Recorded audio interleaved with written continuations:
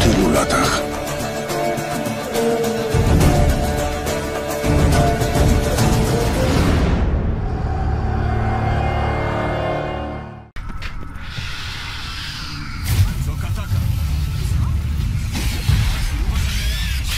Witajcie, nazywają mnie Sobotę Wędrowcem, a to jest kolejny odcinek naszej serii Zagrajmy w Wiedźmin III Gon. W poprzednim, właśnie tutaj w poprzednim odcinku skończyliśmy. E, idziemy właśnie, czyścimy właśnie kanały z różnych maszkar. No i spotkaliśmy ostatnio właśnie taką bestię, Katakana. I to właściwie był koniec odcinka. Więc dobrze, tutaj on całkiem ciekawie walczy, całkiem ciekawy taki taka mocniejsza wersja jakiegoś takiego wampira. Taki troszkę jak Freder z pierwszej części.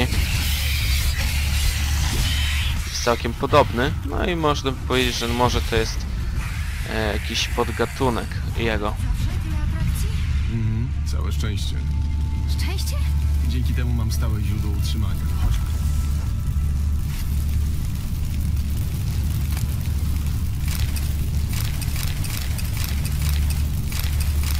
Kurczę, ile tych, e, tych właśnie składników on miał. Uważymy coś może? Czerwony mutagen. No, no właśnie, jest jego część tak właściwie.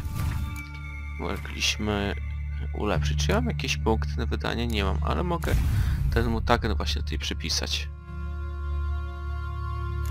No i dobra, to na tyle. Idziemy dalej.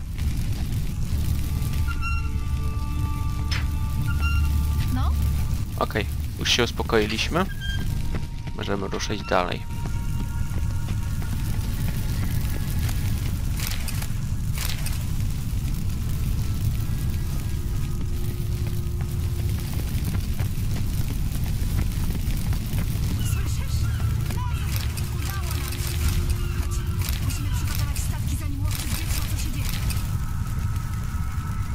Dobra, więc do statku.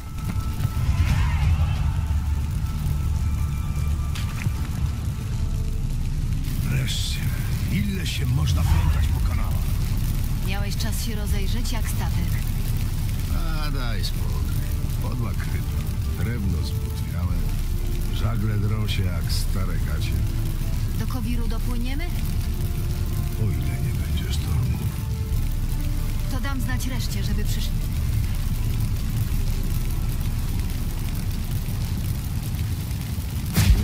Ci? Mogę zagrać na skrzypcach. Albo skoczyć po kwiaty i czekoladki. O czym ty pieprzysz? Jak to? Nie mów, że nie będziesz błagać Tris, żeby nie odpływała. Co cię to w ogóle obchodzi? Lubię romantyczne historie, zwłaszcza te ze szczęśliwym zakończeniem. Żyli długo i... Łowcy! Łowcy idą! Na statek! Dobra, w takim razie kolejna walka. Zapowiadało się bezproblemowa yy, ucieczka statkiem. A to proszę.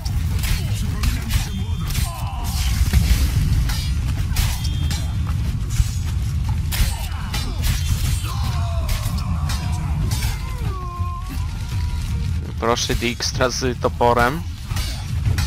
Nieźle sobie radzi, nie? Pewnie. No i okej. Dijkstra, nie wiem jak ci... Nie ma czasu na grzeczności. Właźcie na statek. Jeszcze tylko jedno pożegnanie. Dziękuję. Nigdy nie zapomnę, co dla mnie zrobiłeś i co nas łączyło. Zostań ze mną. Geralt, nie wracajmy do tego, a już zwłaszcza nie tu i nie teraz.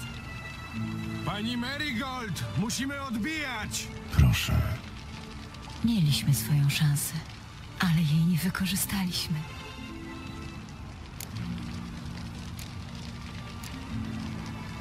Będzie mi ciebie brakowało. Bardzo.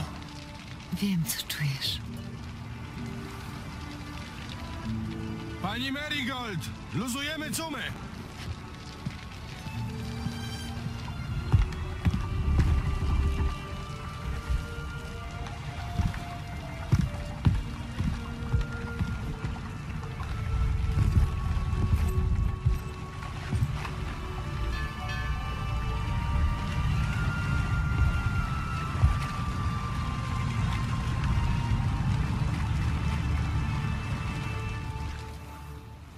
No, brachu, przynajmniej spróbowałeś. Też kiedyś dostałem kosza od czarodziejki. Opowiedzieć ci? Opowiedz, co mi szkodzi. Jak wiesz, smaliłem kiedyś cholewki do Filipy Eilhart, jak jeszcze oboje służyliśmy Redanii. Wyperfumowałem się jak kurwa na upał, założyłem dublet w pionowe pasy, bo wiesz, wyszczeplają. No i mówię jej, Filipa, tyle nas łączy, te sprawy. I wiesz co ona na to? Że pionowe pasy jednak nie dość wyszczuplają? Nie, że woli kobiety. No więc narąbałem się jak świnia i poszedłem na dziwki. No i mam wyciągnąć z tego jakąś naukę? Nie, Gerard. Po prostu zrób to samo. Ale to później, jak już sobie pogadamy. Dijkstra, co ty znowu knujesz? Jak myślisz, ilu razem uratowaliśmy czarodziejów? Nie wiem, nie liczyłem. Może ze 30. A ilu ich zostało na całej północy? Ilu zostało alchemików, zielarzy, guślarzy? Dwa tysiące? Trzy? A co? Robisz spis powszechny? Nie, martwię się. W Nowigradzie byliśmy my, ale kto uratuje czarodziejów z Rinde? Banard, Art Carey, Gulety? Wiesz przecież, że Radowid nie spocznie, póki ich wszystkich nie pozabija. Wszystkich. Łącznie z Yennefer i Tris. Wzruszająca mowa. A teraz do rzeczy. Po co mi to opowiadasz? Bo chcę, żebyś mi pomógł zabić Radowida.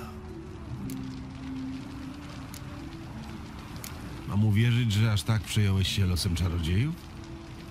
Przejąłem się, ale nie dlatego, że mam wrażliwe serce. To prawda. Dla mnie te prześladowania to przede wszystkim symptom poważniejszego problemu. Redanią rządzi szaleniec. Służyłem ojcu Radowida, Wizimirowi, 20 lat z okładem. Razem zamieniliśmy Redanię w najpotężniejsze królestwo północy. A wiesz, co decydowało o jego sile? Wojsko, jak mnie mam. No i właśnie głupio mnie masz. Zwołać pospolite ruszenie, podburzyć chłopów, by postawili swoje kosy na sztorc. Co to za sztuka? Ciężej zbudować silne państwo ze zdrową gospodarką, manufakturami, z potężnymi sojuszami, prężną nauką, z niezależnymi sądami wydającymi sprawiedliwe wyroki. Wizimirowi i mnie się to udało. Po latach kurewsko ciężkiej pracy. Nie mam zamiaru patrzeć z założonymi rękoma, jak ten gnojek to zaprzepaszcza. Radowid srogi. Bezmyślny raczej.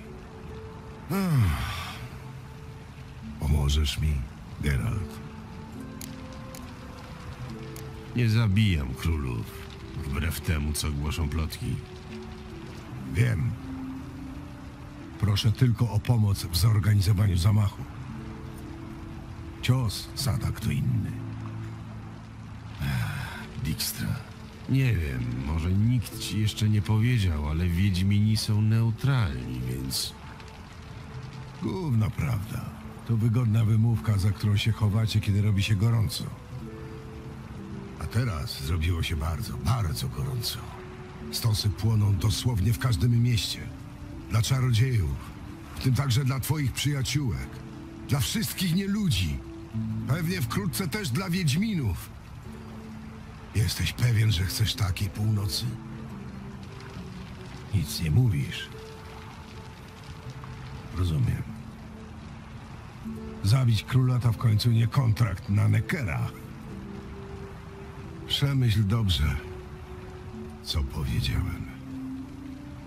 A jeśli uznasz, że zamiast płynąć jak gówno z nurtem historii, jednak chcesz zmienić jej bieg, to przyjdź do Pasiflory na poddasze.